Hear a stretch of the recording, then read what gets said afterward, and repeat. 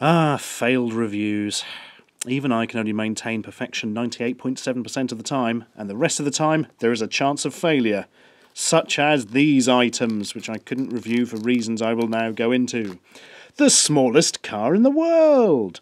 Not actually a passenger vehicle, but a tiny little electric car with a solar panel on top. Stick it out in the sun and it goes vroom forward with much velocity. What does it say on the packaging? This solar car, powered by solar energy, can directly start the engine in strong sunlight and keep running fast. It is eco friendly, energy saving, specially designed, and fashionable, and without doubt, it is a perfect teaching aid for students. Well, it would be if it worked.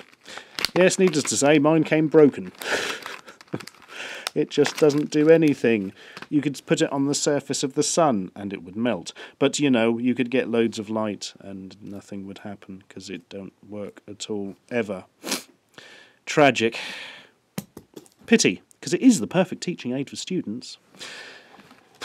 Next, Chef Tony Smart Lids. Somebody was kind enough to send these to me because this bloke looks a little bit like our own beloved Chef Excellence. As seen on TV, but yes, apparently Chef Tony is actually a real person. Not sure if he's a real chef, but he it does physically exist, unlike Chef Excellence. Um, what these are Apart from liquid tight and vacuum seal with one small lid, two medium lids, and a large lid, also you get a bonus jumbo lid, but it only mentions that on the side. Let's look at the side for confirmation. What's the point of these? Well, features space age polymers seal airtight. Space age, that's 40 years ago, move with the times. Freezer safe, dishwasher safe, microwave safe, universal fit. Oh, look at Tony, he's so pleased. Seal anything in any size bowl. Aha. Keeps produce fresh longer. Save leftovers longer. Seal locks liquid tight and holds for weeks. Offer includes one small lid, two medium lids, one large lid, bonus item, one jumbo lid, blah blah blah. Now, I'll tell you why I didn't review these after a quick demonstration. Look, it's a mug with a stormtrooper on. Look, it's one of his small lids. Put it on top, jab down on it, and indeed, it forms a vacuum tight seal which will genuinely keep in liquid and stuff. Reason I never reviewed them was they're actually really good. they do their job, and I've been using them in the kitchen, uh, mostly for stuff in the microwave. So, yes, um, that kind of failed the uh, acid test of getting onto the sofa for the simple reason that I've been using them in real life. So, if you should see those cheap, they're worth getting if you need some weird lids. Last thing, this was also something sent to me Rush Champion. Five, no wait, six separate motorbike things. That's just amazing. I couldn't really think of anything funny to do with these or anything else they fitted in with, so um, they never got a proper review. But now we can look at the amusing text on it at least.